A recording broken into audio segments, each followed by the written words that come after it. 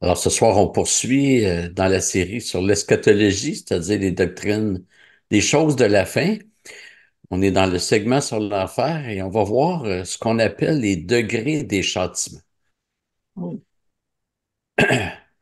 Quand on pense au jugement de, Dieu, la question surgit, est-ce que, euh, est-ce que tout le monde va avoir le, même châtiment? Et en particulier, euh, ceux qui n'ont pas entendu l'Évangile, est-ce qu'ils vont être châtiés? alors, on peut parler aussi de ceux qui sont décédés bébés ou même, euh, même embryons. Euh, ceux qui n'ont pas les capacités mentales de comprendre suffisamment ce que nous pouvons leur dire. Alors, en ce qui concerne les personnes que l'on considère comme ayant l'âge de responsabilité, ayant la faculté de comprendre, si ces personnes ne sont pas converties, elles vont en enfant. Euh, je dis pas ça pour dire que d'autres euh, non convertis n'iraient pas en enfant, mais présentement, je, réponds à cela. Paul a écrit, La colère de Dieu se, se, révèle du ciel contre toute impiété et toute injustice des hommes qui retiennent injustement la vérité captive car ce qu'on peut connaître de Dieu est manifeste pour eux, car Dieu le leur a manifesté. En effet, l'imperfection visible de Dieu, sa puissance éternelle et sa divinité se voient fort bien depuis la création du monde quand on les considère dans ses ouvrages. Ils sont donc inexcusables puisque, ayant connu Dieu, ils ne l'ont pas glorifié comme Dieu et ne lui ont pas rendu grâce. Mais ils se sont égarés dans de vains raisonnements et leur cœur sans intelligence a été plongé dans les ténèbres.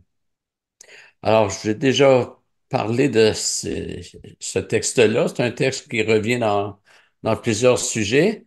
J'en avais parlé quand on avait vu euh, la révélation générale, c'est-à-dire la création par laquelle Dieu se fait connaître.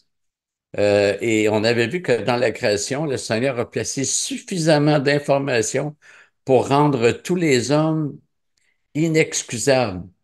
C'est-à-dire que dans la création, il y a suffisamment d'informations pour que soit révélée la disposition du cœur des individus. Et ce que Paul dit, ils sont donc inexcusables, c'est un terme euh, juridique. Euh, ils, ne pourront pas présenter de plaidoyer. Ils ne pourront pas dire, ben, c'est pas ma faute, euh, je suis né il y a 4000 ans au Zimbabwe, j'ai jamais entendu l'Évangile. Non, peut-être que tu n'as pas entendu l'Évangile, mais tu as vu la création et Dieu a placé suffisamment d'informations pour te rendre responsable. Euh, S'il y en a qui veulent euh, voir, euh, les vidéos sont sur notre site Internet, donc vous pouvez retrouver ça dans, euh, donc, quand on a parlé de la révélation générale. Concernant les embryons et les bébés, avons tendance à analyser les choses à partir de ce que nous voyons. Nous disons des choses comme un bébé n'a pas péché, il ne peut pas pécher, donc il ne peut pas être condamné. Et à mon avis, cette affirmation est totalement gratuite. C'est vrai que un bébé ne peut pas pratiquer le péché au sens, il ne peut pas voler, il ne peut pas tuer. Mais on doit se rappeler qu'un bébé est conçu dans le péché et non pas dans la pureté. Sinon, il faudrait croire qu'il a été conçu dans la pureté et qu'il devient pécheur. C'est la pensée païenne d'aujourd'hui, que depuis Jean-Jacques Rousseau, qui disait que l'être humain vient au, monde pur, c'est la société qui le corrompt. Et c'est ainsi qu'on victimise l'être humain, ce qui est très courant dans, à notre époque. Alors, tous les hommes ont été conçus dans le péché. Psaume 51, 7 dit, Voici, je suis né dans la faute et ma mère m'a conçu dans le péché. Psaume 58, 4, Les méchants sont pervertis dès le sein maternel. Les menteurs s'égarent au sortir du ventre de leur mère. Et un troisième texte dans Job, Qui fera sortir le pur de l'impur? Personne. Mes parents sont impurs, il est impossible que je sorte pur. Je suis impur, il est impossible que mes enfants sortent peu, sortent peu. Jean 3,6 nous dit, ce qui est né de la chair est chair et ce qui est né de l'esprit est esprit. Et naître de la chair, c'est pas tant l'aspect physique de notre naissance. Ici, c'est Jésus qui parle à Nicodème. Il va lui, lui dire qu'il faut naître euh, de nouveau ou d'en haut. Euh, naître de la chair équivaut à naître dans le péché. Un bébé ne devient pas pécheur, il est conçu pécheur. Et dire qu'un bébé, même un embryon, ne pêche pas, c'est une affirmation gratuite. Quand savons-nous si un bébé ne pense pas? Et si un bébé pense, ses pensées sont marquées par le péché. Il, ne peut pas avoir des pensées pures. Rappelons-nous que le déluge qui préfigurait le jugement dernier a emporté bien des embryons et des bébés. Et je ne vois aucun texte dans les Écritures qui enseigne que les bébés qui meurent seront sauvés. Il y a bien certains textes, par exemple, je ne l'ai pas ici, mais David qui dit euh, quand son fils est, mort, euh, David dit euh, Lui ne reviendra pas à moi, mais moi j'irai vers lui. il y en a qui prennent ça pour dire Vous voyez, David était sauvé, et s'il a pu dire qu'il va vers son fils, ça veut dire que son fils était sauvé. Mais dans l'Ancien Testament, on ne parlait pas de dire dès qu'on meurt, on s'en va soit dans un lieu pour ceux qui sont sauvés ou un lieu pour ceux qui ne sont pas sauvés. Tous les morts allaient au même endroit en attendant un jugement final. Mais il n'y avait pas cette distinction. Euh, certains pensent même que cette distinction est, venue lorsque Jésus-Christ euh, est ressuscité que c'est là qu'il y a eu une distinction, que Jésus aurait sorti du séjour des morts ceux qui lui appartiennent. Euh, c'est possible, je n'ai pas encore creusé cela. Mais il y a un autre texte, quand euh, euh, Saül demande à, Samuel, qui était décédé, de, de venir lui parler, Samuel lui dit, demain, toi et, tes fils, vous, vous viendrez me rejoindre. Et Saül n'était pas sauvé. Ses fils, j'ai aucune idée, mais euh, euh, donc on ne peut pas prendre ces, textes-là pour dire que les bébés, donc en particulier le texte de David avec son fils, que les bébés qui meurent sont automatiquement sauvés. Ceci dit, le châtiment de Dieu ne sera pas égal pour tous les hommes. Il y a des degrés de châtiment.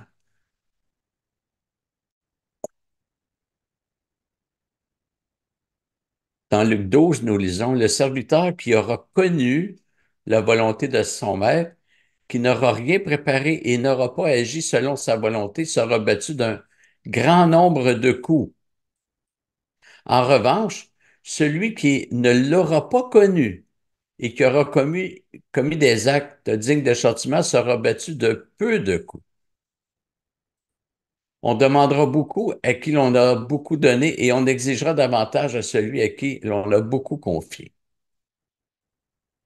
Dans Matthieu 11, Jésus dit Malheur à toi, Corazin, malheur à toi, Bethsaïda, ces deux villes de la Palestine.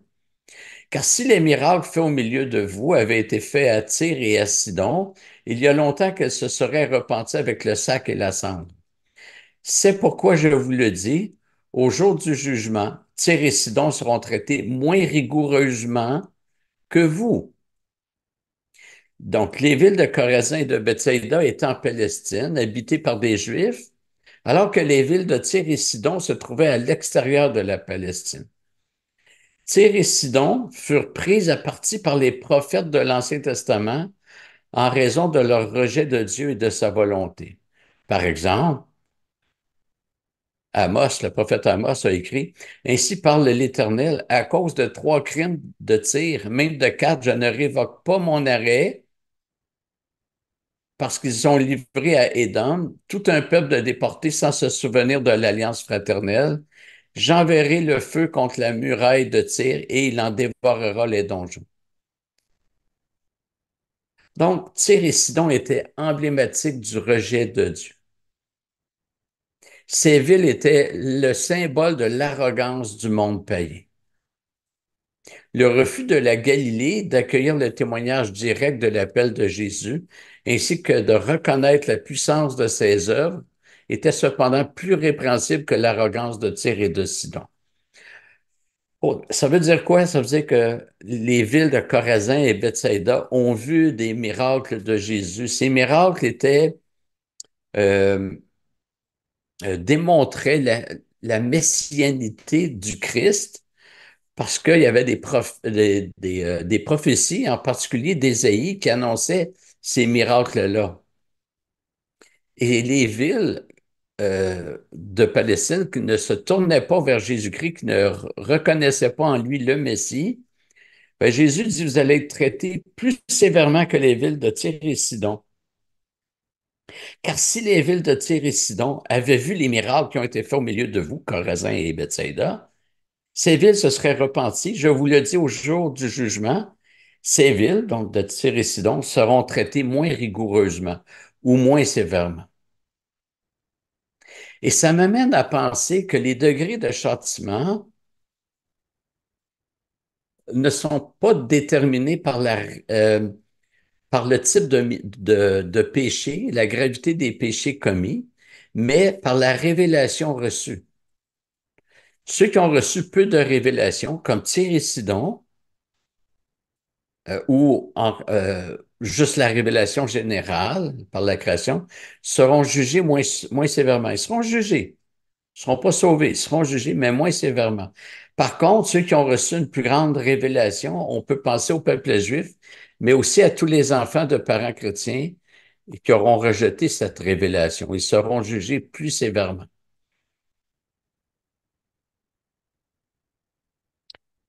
Les données bibliques doivent nous convaincre que le jugement de Dieu ne sera pas injuste. Et les degrés de châtiment euh, nous enseignent cela.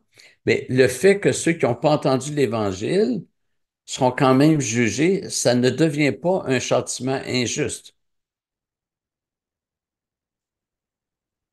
Alors, comme j'ai dit, le châtiment qu'une personne va subir sera beaucoup plus pénible s'il a rejeté la parole de, de Dieu. Pour nous, il nous semble que celui qui a commis un meurtre va souffrir davantage que celui qui a eu une vie bien rangée, mais qui a entendu l'Évangile et qui l'a rejeté. Mais il semble que le critère soit vraiment l'intensité de la révélation reçue.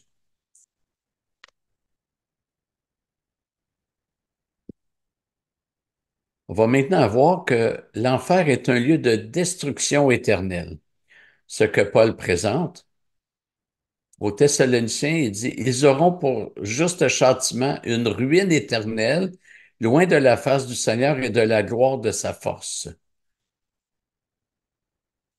Et dans Matthieu 25, ensuite, euh, Jésus dira à ceux qui seront à sa gauche, Retirez-vous de moi, maudit, allez dans le feu éternel préparé pour le diable et pour ses anges. Et ceux-ci iront au châtiment éternel, mais les justes à la vie éternelle. En quoi est-ce une destruction? Est-ce comme une maison que l'on détruit et un coup détruite, on la laisse à l'abandon? Je pense que c'est pire que cela. La destruction, c'est le fait de subir un sort qui va à l'encontre de ce pourquoi nous avons été créés. Nous avons été créés pour vivre avec Dieu. L'enfer, c'est de vivre sans, sans Dieu, sans les bienfaits de notre Dieu. Nous avons été créés pour vivre en harmonie les uns avec les autres. L'enfer, c'est de vivre dans la pire désolidarités qui soit. L'homme a été créé pour pour la vie, puisqu'il est créé à l'image du Dieu de la vie, le pécheur, le réprouvé ne connaîtra que la mort, la mort éternelle. L'homme a été créé pour le repos. En enfer, il n'y aura pas de, de repos, mais que des tourments éternels. Apocalypse 14 nous dit, il boira lui aussi du vin de la fureur de Dieu, versé sans mélange dans la coupe de sa colère, et il sera tourmenté dans le feu et le souffle devant les saints anges et devant l'agneau. La fumée de leur tourment monte au siècle des siècles et ils n'ont de repos ni jour ni nuit. Ceux qui se prosternent devant la bête et devant son image et quiconque reçoit la marque de son nom. Il y a dans le jugement de Dieu quelque chose de particulier. Ce que subiront les réprouvés sera en lien avec ce qu'ils auront choisi. C'est comme un homme qui prend tellement d'alcool. Sa peine, possiblement la sclérose du foie, est en lien avec son choix d'abuser de l'alcool. Il le sait, il choisit. Même si c'est une forme d'esclavage, même sa volonté, elle est esclave, mais c'est sa volonté, c'est lui qui veut ça. Il va subir euh, des, des, ruptures de, de relations familiales. Et lors du jugement, tout cela va sortir. Les gens ne seront pas surpris de leur condamnation. Les réprouvés vont vivre sans Dieu, mais ils n'en ont pas voulu ici-bas. Ils vont recevoir ce qu'ils ont choisi. Ils ont voulu détruire les œuvres de Dieu comme la famille, le travail, la création, mais eux qui font partie de la création seront détruits. Apocalypse 11, 18, les nations s'étaient héritées, ta colère est venue, ainsi que le temps de juger les morts, de récompenser tes serviteurs, les prophètes, les saints et ceux qui craignent ton nom, les petits et les grands, et de détruire ceux qui détruisent la terre. Voyez le lien que le texte fait entre ceux qui détruisent les œuvres de Dieu, ben Dieu les détruit. Les réprouvés reçoivent ce qu'ils ont cherché. L'apôtre Jean a écrit que les réprouvés ont préféré les ténèbres à la lumière. Alors, ils s'en vont en enfer, ils vont avoir quoi? Les ténèbres. Ils ont préféré les ténèbres, ils vont avoir les ténèbres beaucoup plus intenses que ce qu'ils auraient pu imaginer. Alors, je répète, la condamnation consiste à recevoir ce que les gens auront choisi ici-bas dans une intensité beaucoup plus forte, c'est vrai, mais ce sera en lien avec leur choix de rejeter Dieu. Imaginez que j'arrive dans un village plutôt isolé et qu'il n'y ait qu'un seul médecin. Or, ce médecin, je ne l'aime vraiment pas et je le rejette. Même si je ne connais pas toutes les maladies que je pourrais attraper plus tard, je ne serais pas surpris d'être abandonné à mes souffrances puisque j'ai rejeté le seul médecin j'aurais choisi de ne pas être soigné. Maintenant, comment la Bible décrit-elle les souffrances de l'enfant? Il y a des mots terribles qui sont utilisés, vraiment terribles. Le déversement de la colère de Dieu. On faut user de notre imagination pour avoir une idée de c'est quoi sa colère la coupe de sa colère. La Bible parle de tourment. Je ne sais pas si vous avez déjà été tourmenté. Moi, oui. Les pleurs, les sanglots, les grincements de dents. On est tellement apeuré qu'on a des grincements de dents. Le feu éternel, la torture, la destruction fait partie du langage biblique pour décrire les, les souffrances. Et on doit savoir que ces mots, aussi terrifiants soient-ils, ne nous donnent qu'un faible aperçu de ce que sera l'enfant. La raison qui nous permet de dire cela, c'est que nous donnons à ces mots la gravité de ce que nous avons expérimenté présentement, dans notre vie présente. Avant d'avoir une pierre au rein, je ne connaissais pas ce que ça représentait comme douleur. On m'avait déjà dit que c'était pire qu'un mal de dents. Et maintenant que j'ai déjà eu une pierre au rein, j'en ai eu deux, fois, j'ai plus besoin du mal dedans pour me donner une idée. J'ai expérimenté. Mais avant d'expérimenter, j'essayais d'avoir un aperçu à partir de mes expériences passées. Le mal dedans. Alors, personne ici sur terre présentement, on a, con- et- on a connu le déversement de la colère de Dieu, le désespoir de savoir que les souffrances ne cesseront jamais. Le feu sera éternel, les, tourments seront éternels. Et à mon avis, ça fait partie de, des tourments de savoir qu'ils sont éternels. Je sais pas, euh, moi, je, je fais pas, fais pas vraiment de, cauchemars, mais euh, j'en ai déjà fait. Comme un cauchemar dont on sortira jamais, va toujours être là. Euh, la pire épreuve qu'on a connue, euh, c'est, euh, c'est une balade au parc à côté de l'enfant. Une autre souffrance, c'est le bannissement. Il vous répondra en disant, Je ne sais pas d'où vous êtes, éloignez-vous de moi, vous tous qui commettez l'injustice. Matthieu 7, 23. Alors je leur déclarerai, je ne vous ai jamais connu, retirez-vous de moi, vous qui commettez l'iniquité. Matthieu 25, 41. 41. Ensuite, il dira à ceux qui seront à sa gauche, retirez-vous de moi, maudit, allez dans le feu éternel préparé pour le diable et pour ses anges. Quelle chose terrible de se faire dire par le Seigneur, retirez-vous de moi. Imaginez, là, les gens vont arriver au tribunal du Christ, puis là, c'est soit le, ciel, soit l'enfer, puis se faire dire, retirez-vous de, moi, c'est pas qu'on retourne à, euh, un pronom indéfini, c'est pas que les gens retournent à leurs occupations d'avant, c'est qu'il reste juste une autre porte, c'est l'enfer. Retirez-vous de moi, maudit, allez dans le feu éternel préparé pour le diable et pour ses anges. Frères et sœurs, estimons-nous des plus bénis que de se savoir aimés et accueillis par notre Père céleste. On aura, on n'a pas aidé et on n'aura jamais idée de ce à quoi le Seigneur nous fait échapper en nous sauvant.